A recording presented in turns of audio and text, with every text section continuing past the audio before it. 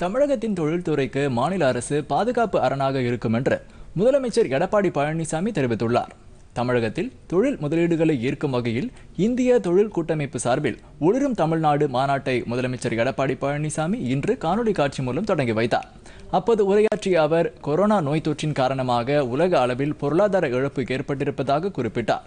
இதற்கான தடுப்பு மருந்துகள் உபகரணங்கள் தயாரிப்பு உள்ளிட்டவற்றிற்கு மாநில அரசு சிறப்பு சலுகைகளை வழங்கியிருப்பதாகவும் அவர் கூறினார். இதில் பல்வேறு நிறுவனங்கள் நல்ல முறையில் செயல்பட்டு வருவதாகவும் அவர் தெரிவித்தார். அண்மையில் தனியார் நிறுவனம் நடத்திய ஆய்வு ஒன்றில் பொருளாதார மீட்பு முயற்சியில் இந்தியாவில் உள்ள ஐந்து மாநிலங்களில் தமிழகமும் இடம்பெற்றிருப்பதை அவர் சுட்டிக்காட்டினார்.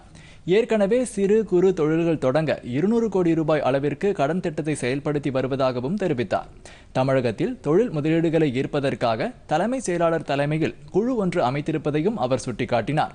அமெரிக்கா ஆஸ்திரேலியா ஜெர்மன் உள்ளிட்ட பல்வேறு நாடுகளைச் சேர்ந்த பதினேழு தொழில் நிறுவனங்களோடு புரிந்துணர்வு ஒப்பந்தம் செய்ய இதன் மூலம் நாற்பத்தி ஏழாயிரத்து நூற்று ஐம்பது பேருக்கு புதிய வேலைவாய்ப்புகள் உருவாகும் என்று குறிப்பிட்டார்.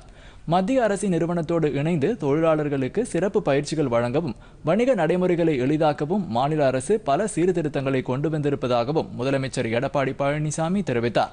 சென்னை தலைமைச் செயலகத்தில் நடைபெற்ற இந்த காணொலி காட்சி மாநாட்டில் தமிழகத்தின் தொழில் வளம் குறித்த கையேட்டினையும் முதலமைச்சர் வெளியிட அதனை தொழில்துறை அமைச்சர் எம் சி சம்பத் பெற்றுக்கொண்டார் இந்த நிகழ்ச்சியில் ஊரக தொழில்துறை அமைச்சர் பெஞ்சமின் தலைமை செயலாளர் சண்முகம் உள்ளிட்டோர் பங்கேற்றனர். இந்த மாநாட்டில் ஐநூறுக்கும் மேற்பட்ட தொழில் நிறுவனங்களின் தலைமை அதிகாரிகள் கலந்து கொண்டனர். பொதிகை செய்திகளை யூடியூபில் தமிழ் நியூஸ் தூர்தர்ஷன் என்ற சேனலிலும் ட்விட்டரில் Tamil news Doordarshan at DD news Chennai என்ற பக்கத்திலும் காணலாம்.